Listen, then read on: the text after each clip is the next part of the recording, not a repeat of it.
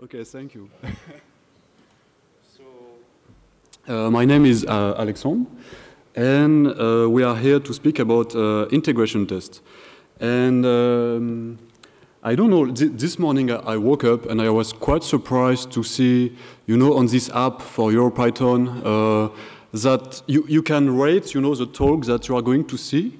And some people already rated my talk. It, it was crazy. Like I already have four stars and people didn't see it yet. And then I, I, went on the web and I saw that other people wrote about me. And so I am very glad to tell you that today you will see the best talk ever of the year. Look at this. you will not believe it. it's really amazing. So thank you so much for being there today. but yeah, let's be a bit more serious now. Uh, so uh, I live in Berlin. I am, I am French. So if you don't understand my accent, it's, it's normal. Uh, but I live in Berlin since two years now, and I work with uh, really cool folks that are just sitting here uh, at the front. And I have to say that, um, you know, often when you uh, apply to a company, they, they, tell you, yeah, we have ping pong tables, we have uh, bars, we have, uh, we have, you can play tennis, you can play kickers, but no other company has an espresso machine like that. And so that's why you should ask to your boss to have this kind of stuff. It's the best coffee uh, in town in Berlin, and you can travel for free to Italy by driving a quick espresso. But let's go back to in integration test. Um, I will need this microphone to be turned on. Uh, all is good. So um, I will need in the room everybody to raise uh, their hand. Only one or two, as you want here. So this is really all techniques that uh, Greeks people use to communicate with others. And usually uh, people ask questions at the end. But what I noticed is that often when you are sitting and watching a talk, then you forget your question or you are afraid to ask it at the end. So I will make some stops during the, the talk. And please, uh, if you have any question, just raise your hand and scream your questions, or just go maybe on the front uh, to ask your question. So we don't need to wait until the end. I think it will be more interactive. Uh, I want really to have your feedback, and uh, I think it will be better. And I will start uh, right now by making this kind of question, because so this talk is about integration tests, but Let's talk about this test in general. Who in this room likes to write tests? Honestly, if you answer honestly. Quite, quite uh, a few people. Uh, quite a few. I will, I will go around. Uh, so who didn't uh, raise? You didn't raise your hand, I think. You did. So why do you write? To, uh, why do you like to write tests? So I know what I'm doing. Okay. Did you raise your hand? Why don't you like to write tests and? because uh, it takes a lot of time, and uh, I know I should write a test, but uh, I only postpone it in the time to later, always. Okay. So yeah, fair enough. And uh, that's something I, I noticed when I was uh, in my different jobs, and that's quite often people know they they have to write tests, uh, but. Um, most of the time, uh, they don't like to do it. And they do it just because, you know, you, you write a code, you make a pull request, and then your colleagues will ask you to write tests to be sure everything is working. But people don't do it because they like it, they just do it because they have to do it. And um, this is, uh, yeah, something really, um, I, I, will not say problematic, but I hope that after this uh, talk you will maybe have some, I, am sure you will hate tests even more, but maybe you will understand how to do it maybe a bit better. Um, and the main reason why people don't like to write tests, I think, is that as developers, we are a bit lazy. But it's not uh, really, um, um, I, don't, I, will not say it's something bad because because we are lazy, we like to automate uh, a maximum uh, of things. So that's really uh, something good. But the drawback is that uh, maybe we don't spend enough time on reviewing tests as we would do for real code. And I think that's why, because we are lazy, we like to use mocks when it's about uh, writing integration tests. So let's see uh, quickly what is a mock. So most of you already know what is a mock, I'm sure, but let's let's try to do a, a quick live session very quickly. Um, so basically, let's see. Uh, I'm I am a panda and I like to eat bamboo. So I eat bamboo, for example, and I eat some number of bamboo. And because it's quite hot this week, I only eat one. And now I will write a test. So let's test this function. Up. Let's say I eat 10 bamboo. I have 10 bamboo, but I eat, I eat only one. So the result should be this one. The result should be 9. So now maybe we can try to run the test. Um, up. Let's try to run that. I hope there is no syntax error. Okay.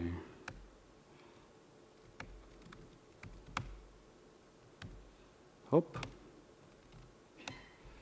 Python test.py. Ah. So there is no there is no problem. Like the test was was uh, was working. It's great. So basically, that's uh, how we write uh, tests in general. We have we have uh, our function. We have our function here. We write a test. We assert the result, and everything is good. Problem now. Let's let's say this function was a bit more complicated. We will use the, we will use a mock. So let's say I will mock this function. Up. So what? How behaves the mock? In fact, if we would have to write a very simple mock, it will be something like that. So taking a function in parameter, having a wrapper, taking some args, and then in the mock itself, we will assert uh, to return a very uh, a fixed result. We will not execute the function itself anymore. So we will return uh, 9 in this case, sorry. And then we return the initial function. So this function, this test should still work normally. Yeah. So still no problem.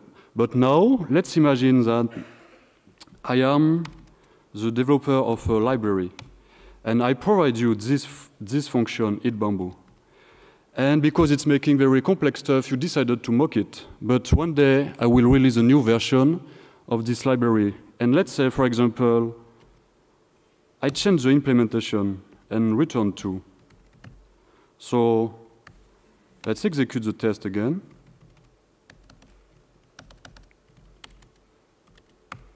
The test still works. There is no error. But I change the implementation, but you don't see it because you use the mock. I can change it again, and still it will be the same result. I can even raise an exception. You will not see it because you use a mock.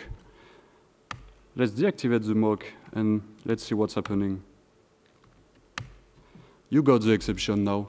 And that's the main problem of mocks. So they are very simple to use, uh, and we like to use them because uh, it's very straightforward. But the problem is that uh, suddenly it's hiding uh, the, the behavior of the function, it's hiding the implementation. And you, uh, yeah, you imagine that this function should return that, but if me as a library developer, I decide to change the implementation, then your test will still work, but when you will run in prod, it will fail. And uh, that's one of the major drawbacks of using mocks. And uh, that's why I would really recommend you to never use them again. And we will see what kind of alternatives, techniques we could use later. But when I tell you never use them again, it's a bit extreme. Of course, sometimes uh, when you want, for example, to simulate complex systems, mocks are very handy. Or let's say if you want to simulate some uh, network disconnection, you will not go to the data center to disconnect a cable, so you will use a mock.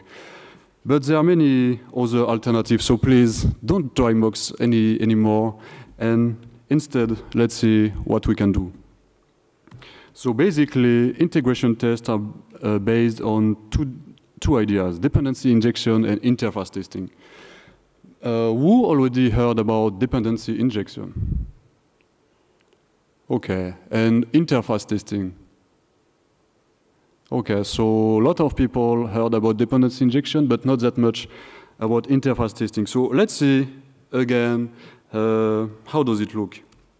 So let's make a quick file. So let's say, for example, I have a function. Um, let's see. Let's say I want to scrap scrape the web, and uh, so I am using the request library, for example.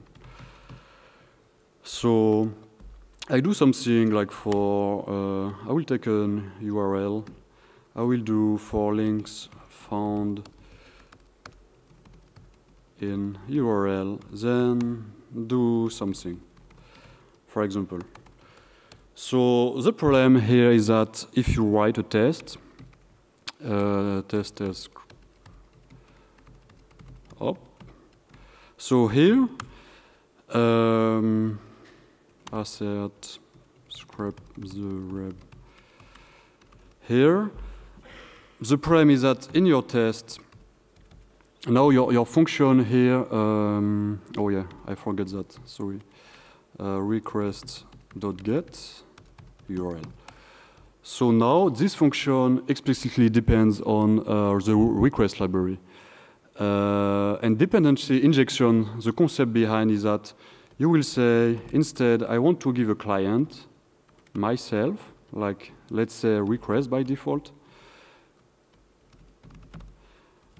And then in your test, you can give any client you want. You, you, you can say, okay, I want a fake client, something like that. And then you can give it to your test. So this is the idea behind uh, dependency injections, that instead of having a function depending explicitly on an uh, external library, you give the choice uh, to the developer using this function to use the client that he wants. Uh, now, if we go, if we have a quick look about interface testing, what does it mean? Well, it's very simple. Here, I have a fake client.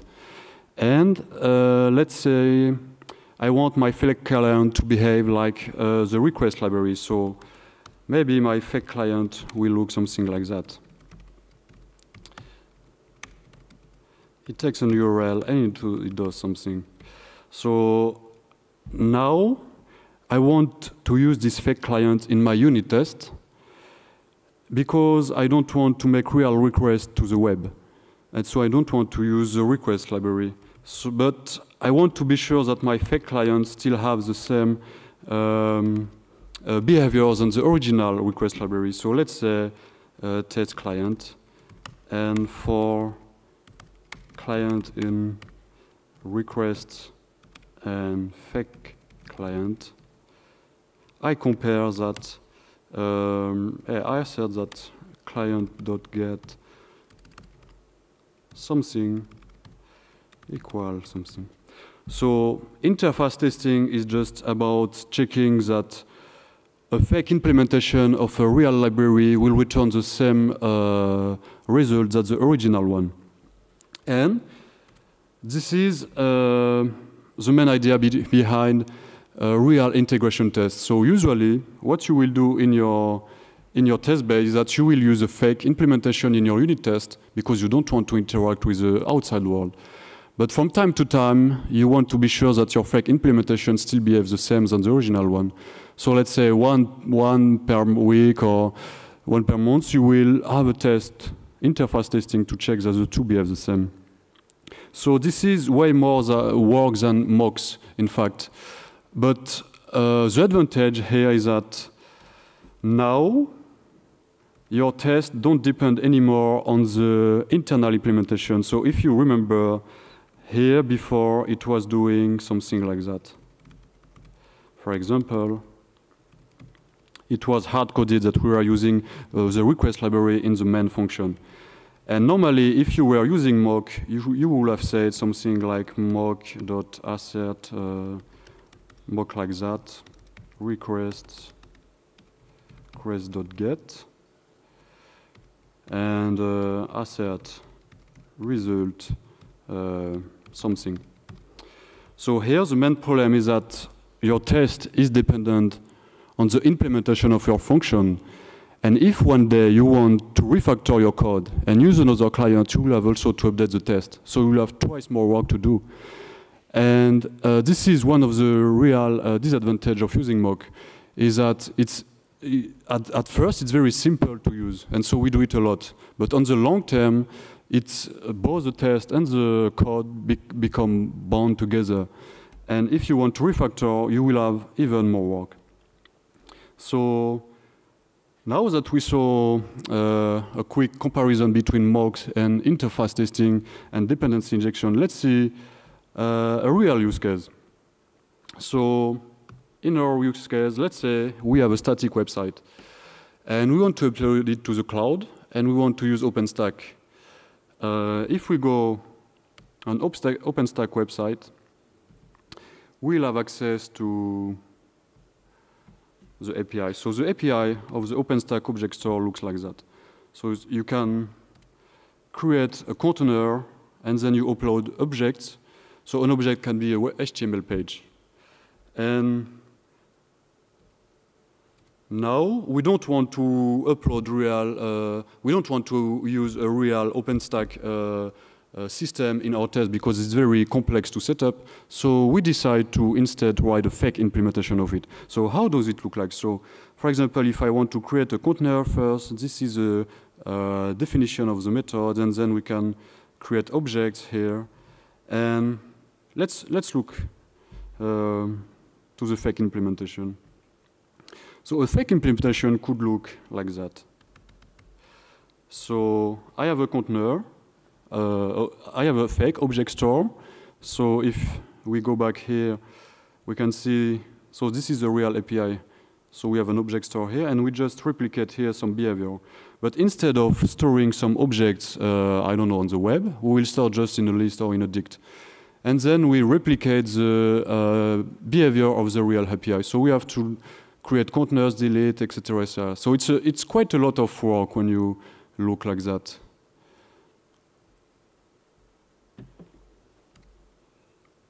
And now, how to use it in the test.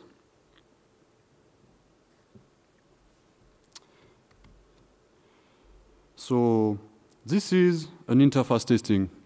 So it will use both the real implementation and the fake implementation and compare that the two behave the same. So we can even try to execute them in live. Okay. So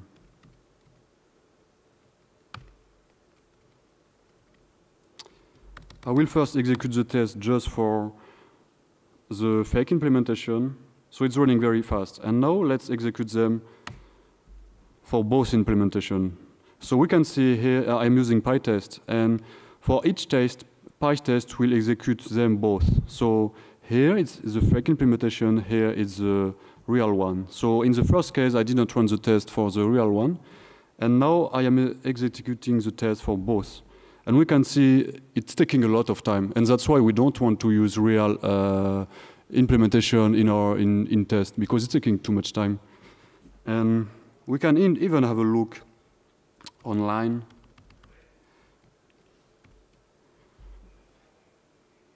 When the tests are running. So let's say I will, I will edit a quickly, a quickly a test, test, cloud.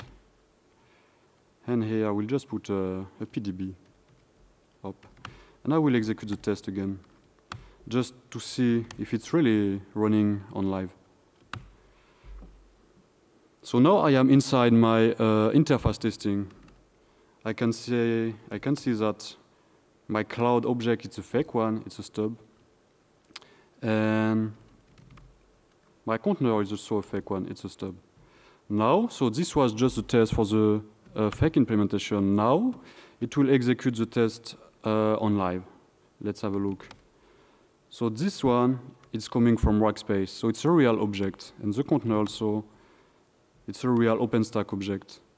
And we can see here that the container is named test. So now let's have a look online if we created a test container, and we'll see that it will appear on the on the dashboard. So here, so we can see that the test is, re is really running uh, online, and we are comparing then our fake implementations just storing objects in a dict, and the one running online have the same behavior with interface testing.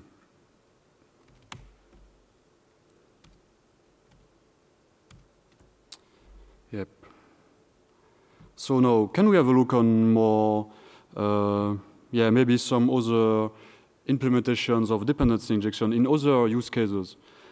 Because this one is a very traditional one, like you just put, uh, send objects somewhere, get a result, and um, sometimes you want to simulate complex systems.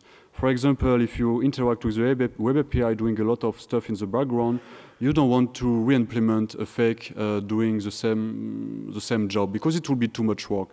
So what you can do instead is to write some kind of mock, but not really a mock, and then inject it in your test. And how could, could it look like? Let's, for example, let's have a look again to a quick live coding session.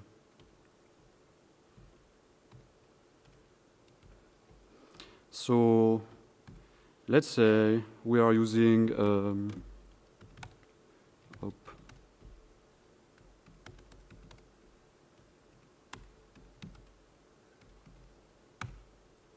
Okay.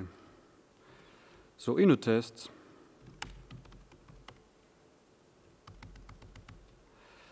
let's say we have a we are testing a web API.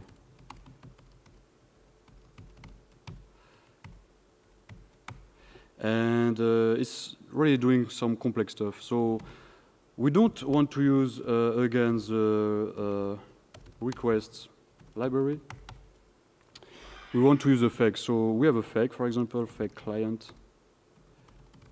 But in our fake client, we don't uh, want to do uh, to re-implement the the whole logic behind. So what we do instead is, um, for example, we can do something like that.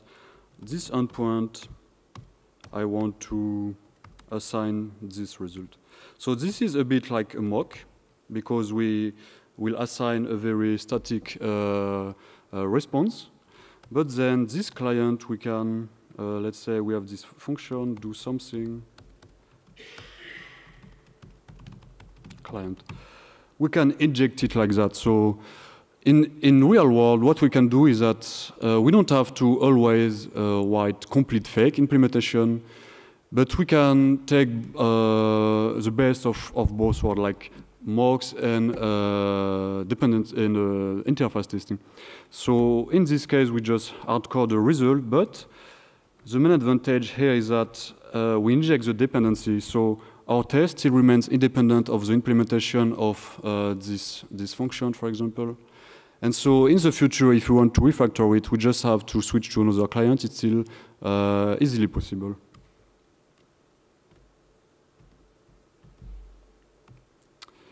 Another use case, uh, let's imagine I want to uh, convert Blu-ray to MKV. So of course not some movies you downloaded illegally, but some holiday movies, let's say.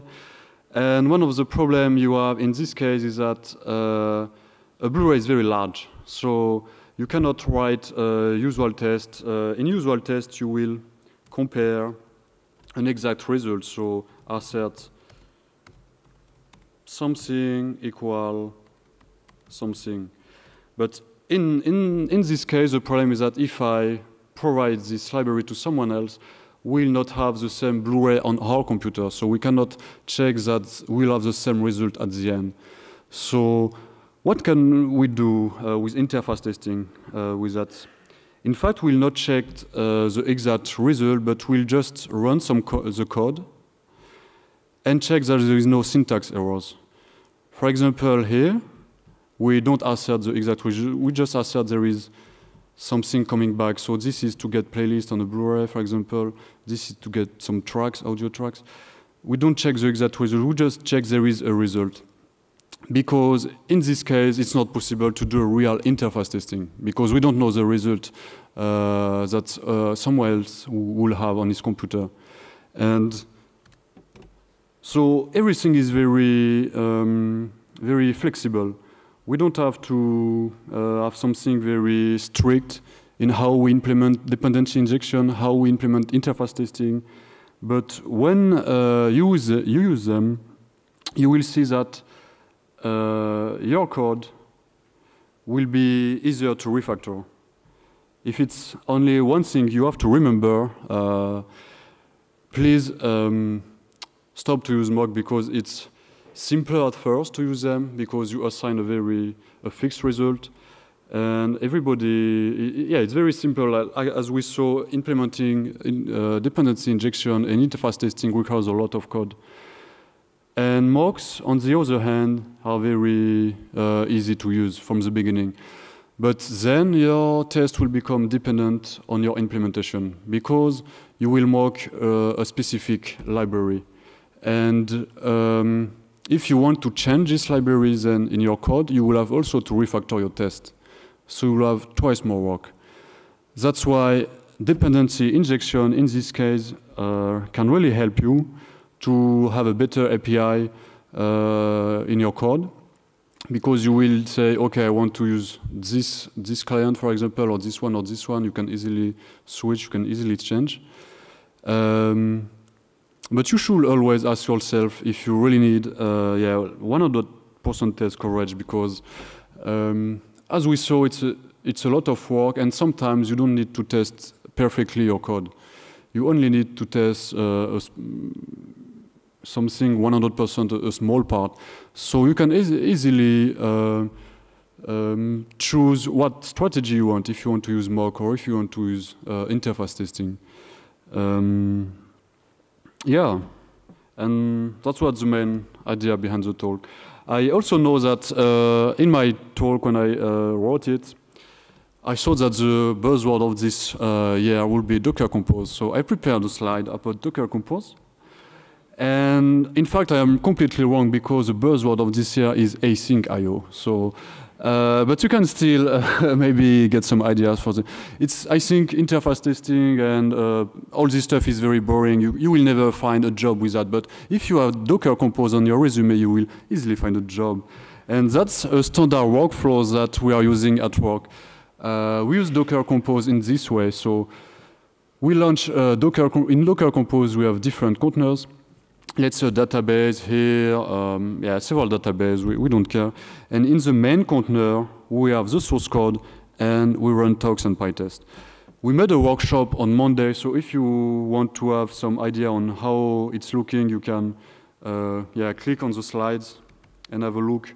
But basically, we have one Docker file uh, for production, and then we have another Docker file uh, depending on the production one, just for running text. And when I discussed with some people uh, around, I saw that it was not the only strategy possible. I saw some people doing this kind of stuff. Like they were directly implementing uh, PyTest fixture, for example, and running uh, like a DB like that. They need a DB and they will um, Docker dot run, I don't know, Postgres. I, I don't know the real uh, uh, API of the Docker library. But then in the test, they will do something like that. And when the test uh, needs to use the DB in PyTest, it will run uh, a container aside. One drawback I will see with this strategy is that uh, now your tests are dependent of your uh, environment where your tests are running. Your tests are dependent on Docker. But imagine you want to run your tests, I don't know, on Kubernetes, on GitLab CI. Uh, um, on GitLab CI, for example, you cannot by default run Docker in Docker because uh, it will be very slow with the layered file systems. And this uh, workflow, on the other hand, makes the test very independent of the whole stack. And I would really recommend you to use this one if you want to use integration tests uh, uh, in addition of interface testing and all this stuff. you can have a look to, to this GitHub project and get some ideas. So that's what all. Uh, for this talk, I completely forgot to ask questions during my talk. But if you have some question at the end, please, uh, yeah, just come here, and I will happy to answer. Thanks.